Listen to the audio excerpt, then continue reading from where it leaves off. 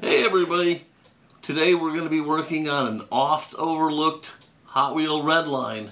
It may be overlooked, but it sure is a bunch of fun. Don't go away.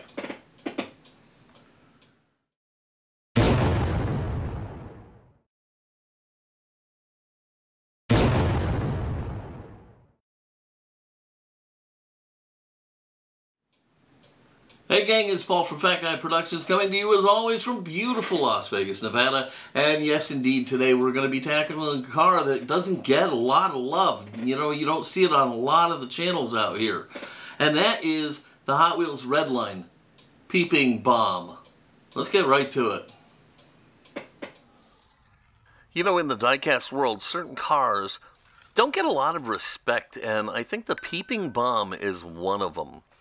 Uh, it's a a fun car with a little bit of heft to it, great design, and a cool little working headlight feature that makes it a really fun car, and yet it just doesn't get a lot of love. It's the Rodney Dangerfield of diecast cars. Well, I'm going to give it some love today, and we're going to take this peeping bomb and make it look like new. Alright, let's get this sucker apart. We're going to use my shielded drilling technique to go ahead and get this uh, car drilled apart. Um, basically, we're using these VIX bits and the natural contours of the rivet and the, the base of the car to hold everything in place so we get a nice, neat centered drilling. Uh, it works fabulous. Uh, if, you, if you're a naysayer, that's fine. If, if you've got something that works for you, I would say stick with it. But if you are like me and had trouble drilling cars apart, the, this may be the answer you're looking for. So we'll go ahead and drill the mushroomed end off of the posts. And once we're done with that, we can go ahead and get this car apart. Alright, with a little help from my friend, uh, a tiny little flat-headed screwdriver, we can go ahead and pop this car apart. And the first thing that happens is the motor falls out. And that's because the motor is one of those standalone motors that is also a post. Here's the base. It's in pretty good shape. It's not going to be too big of a challenge to fix up. The uh, suspension board's in fine shape. You know, cap style wheels. No problems here. And here's where we're going to see some of the fun. We're going to see how these headlights work. So basically we have the interior and we lift it out and we can see the little headlight thingy there up in the front and uh, it just kind of fell out there. There's the windshield.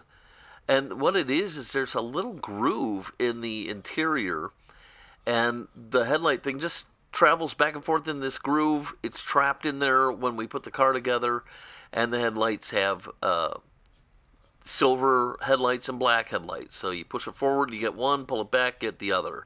So pretty simple uh, system, very effective. All right, and then we have the body, and other than a little bit of a shabby paint job, um, the body's not in bad shape. Uh, posts uh, came out fine, so we're going to be able to just drill down into the center of them with a, a drill bit to uh, uh accept the uh, the button head screws that we'll use to put it back together later. Uh, I did use a little bit of a file to kind of file it down, make sure it's cleaned up, and the car will go back together nicely. And of course, everything we do to the car body, we're going to have to do to the post on the engine, which, by the way, is not a lot of fun because it's very tiny. Alright, with both posts drilled out, we can go ahead and tap them using the, uh, uh, the tap handle that Brightvision sent me to test out which, by the way, at this point, I'm really, really liking.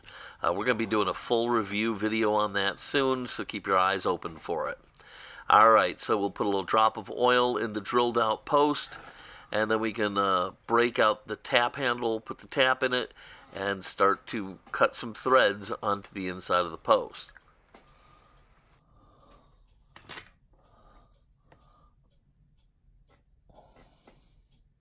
Right here, you're going to see one of the main reasons I like this tap handle. Just get it started, and basically I'm going to turn it not even a full turn. What was that? Not even a half a turn. And it held itself in place. That's because this tap handle is so light and easy to work with. There's no real weight to it pulling that tap out of the hole. So it doesn't take a lot to get this thing started, and once it's started, it's easy to work with. So I'm really enjoying it so far, and it's turning me into a hole tapper. A hole tapper, that, that is a thing, right? Well, if it wasn't, it is now. All right, so we've got the holes tapped out, both the engine post and the body post, and we can dig into my stash of screws, pull out a couple appropriate button-headed screws, and the little Allen wrench and we'll go ahead and run them in and make sure everything is working the way it should before moving on to the next step.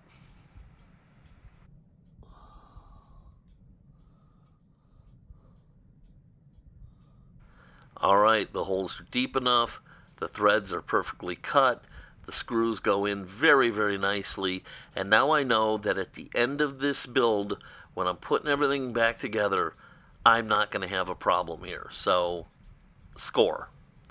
All right, now we can turn our attention back to this body, and we got to get rid of that paint.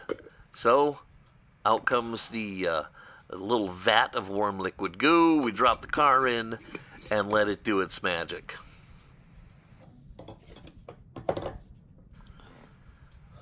All right, after a little time in the vat, we took the car out and ran it over to the sink where we washed off the extra stripper and then we kind of scrubbed it down with the toothbrush to get rid of, rid of any of the uh, loose clumps of paint and now we can bring it back to the workbench and see what we're left with.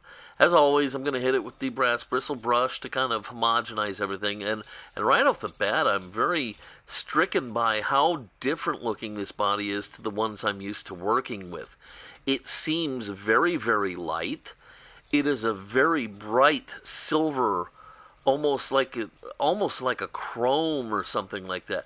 It does not look or feel like any other cars. So if if there was something different in these castings, I sure would love to hear it in the comments down below if you know anything about this because it does not look like any of the cars I've done and I've done quite a few at this point. So I'd love to hear if you know what's going on.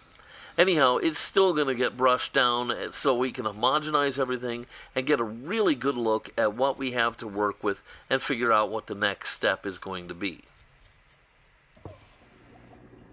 In my humble opinion, when you're doing Spectraflame painting on cars, um, even if the finish is nice, I don't see any reason not to run it through the zinc plating. I had a car where I didn't zinc plate it, it looked consistent and even all across the board until I threw the paint down and toning immediately appeared. Why? Because the ZAMAC underneath was polished, and so the whole thing to my eye looked consistent, but it wasn't. It was two different metals right there. We had the ZAMAC and we had the, the zinc, and that was a problem. So I don't see any negatives to taking it uh, for a spin through the zinc plating process. Alright, she's out of the zinc and washed off, and I'm just going to hit it with the brass bristle brush real fast to make sure that it's looking uh, nice and consistent. And if it uh, then I can go ahead and take it upstairs and uh, finish prepping it for paint. Alrighty, I liked what I saw downstairs, so I've got the car up here at my workbench, and we are hitting it with the 4.0 steel wool. This is going to give us a nice, consistent, shiny finish, and give us a really great base to put the Spectraflame on top of.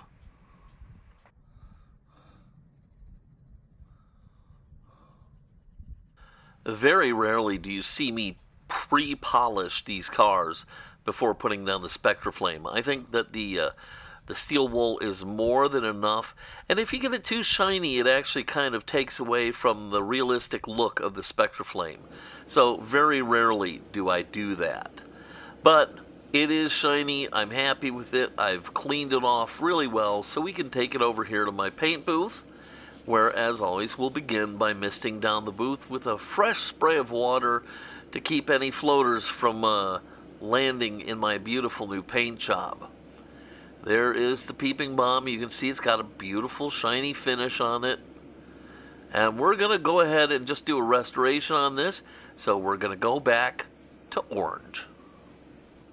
Alright, just like always, we'll go ahead and start the paint job with a tack coat. You should barely be able to see the paint. And the idea is to just help the paint grip to the metal. So we're putting on a very, very, very light coat. And then we'll let that dry. Then we can move on to some medium coats. And then we'll wrap it all up with a little bit of a wet coat to give us the final color and that beautiful, glossy, smooth finish. Uh, orange is one of those colors where I don't really have to worry about sneaking up on it so much because I think in the lighter shades it really doesn't even look orange. You really need to put a, a pretty uh, healthy covering of this paint on the car to get it to get that original Spectraflame orange look. So I, I really don't worry about uh, sneaking up like I normally do. I just kind of lay the paint on thicker and thicker until I get the, the hue that I'm looking for. Now that is one spicy meatball. Look at that thing. Ah, oh, beautiful. I love it. And I love the color too. I'm a fan of the orange. So, beautiful, beautiful, beautiful. Alright, I put the car body aside to dry. I'll bake it a little later today, and then I'll still leave it alone at least for another day. While that's happening, I can turn my attention to some of the other things, like this windshield.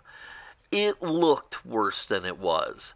Um, no cracks, no splits, no damage at all, but it just looked really grubby, and I was wondering just how well it would come out. In the end, it's going to come out great. So I'm going to start by uh, uh, hitting it up with some Flitz and a cotton uh, bud here and I'm just going to work both sides of the windshield all the way around and get this thing polished out. When you hear it start kind of making a little bit of a squeaky noise, you know you're in the ballpark. So we're just going to hit this thing both sides, get it nice and polished out before we move on.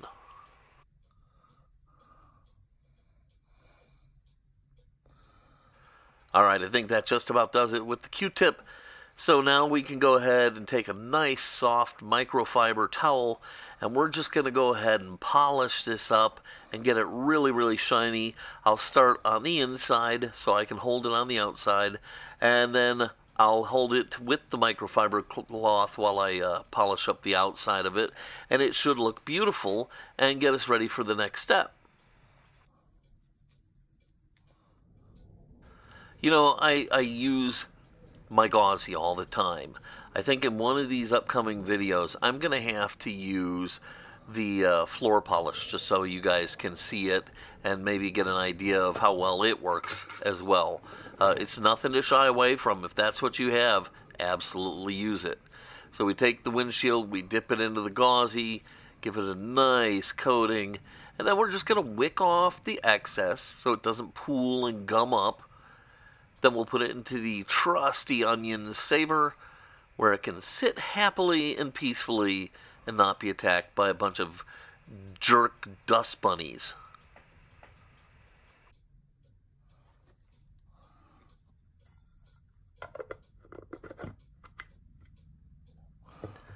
All right, with the windshield safely put aside to dry, we can turn our attention to the base. Now, you know me, I generally like to leave the wheels on until after all of this stuff is done. Uh, it will help protect, i.e., the hubs or the uh, back half of the caps, depending on what kind of car you have. So, as long as I'm going to junk them, I might as well put them to good use and leave them in place to help protect the uh, the parts I've got to reuse while I do these polishing steps. So here I am. I've just smeared some Flitz all over the base. I've got a polishing wheel attached to my uh, my little rotary tool here, and I'm going ham on it and getting it all shiny. At the very least, as important as the base, but probably infinitely more important than the base, is the motor. and it's going to get the same polishing treatment. We are going to hit this thing every which way from Sunday, and we're going to make sure that it gleams. So when we put this car back together and you see that, you're going to go, wow. All right, with the base done now, we can go ahead and remove the caps off the wheels. And to do that, we're just going to run the edge of our razor knife between the backside and the cap of the wheel. Once you get it to drop in there, give it a little twist, and it'll just pop right off. When everything's working right, this is where capped wheels shine. But let me tell you something, when one of the backs is broken or the axle is broken, it really sucks because there's no fixing it. You have to replace that part.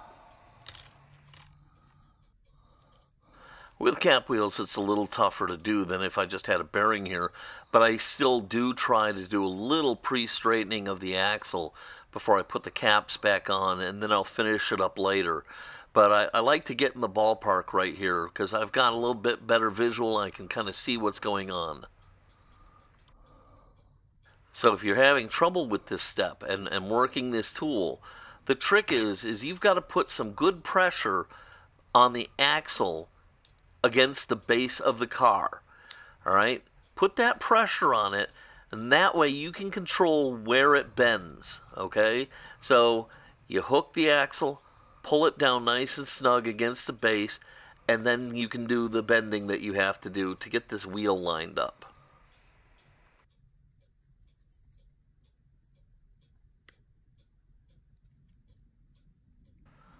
Okay, the base looks good, and I've got the new wheels on, and I can do a little more fine tuning on the alignment of the wheels, and it rolls great. Everything is looking like a go, so we can go ahead and start thinking about putting this car back together.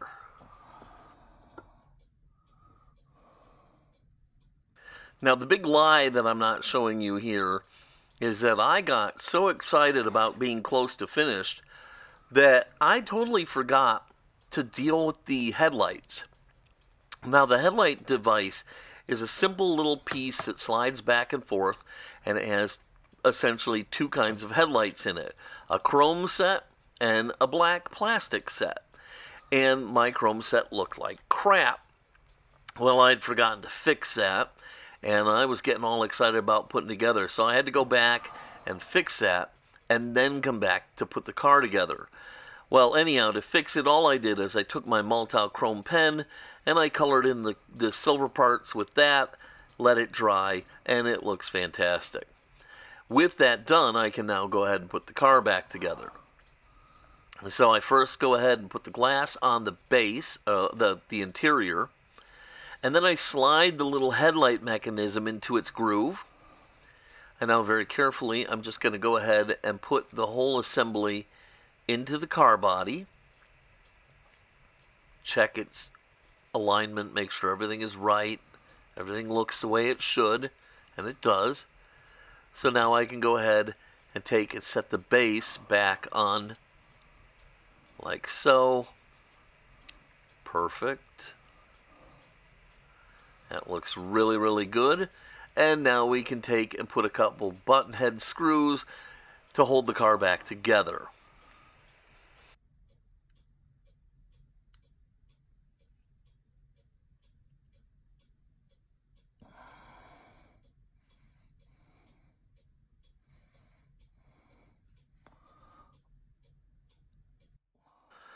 Okay, so I will tell you uh, my honest feelings about this. I hate these separate motors and so this motor, you know, it uh, it's one of the ones where it's separate and it's also the body post. So it is integral in holding the car back together.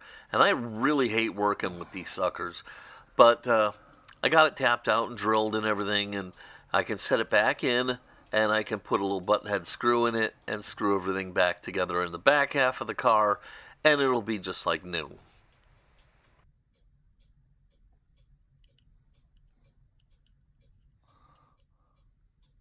All right, with everything snugged up, we can go ahead and take a look and see where we're at. The only thing we're going to be short is uh, just a, a little bit of detail painting, but uh, we're just about done with this thing, and so far I'm pretty happy with it.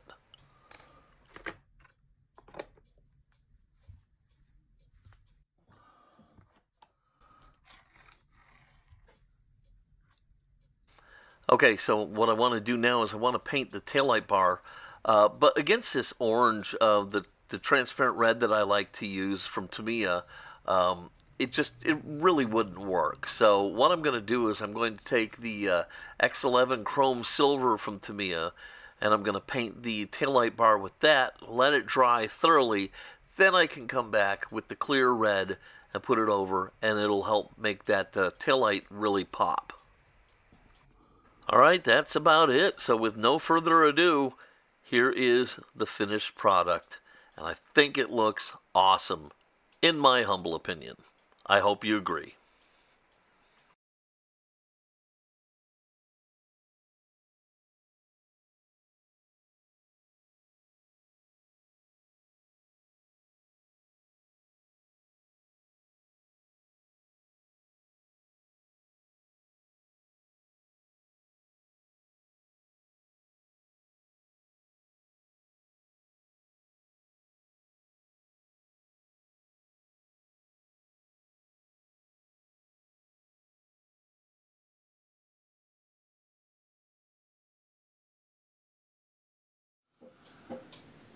All right, there you have it, folks. The Peeping Bomb in Spectraflame Orange.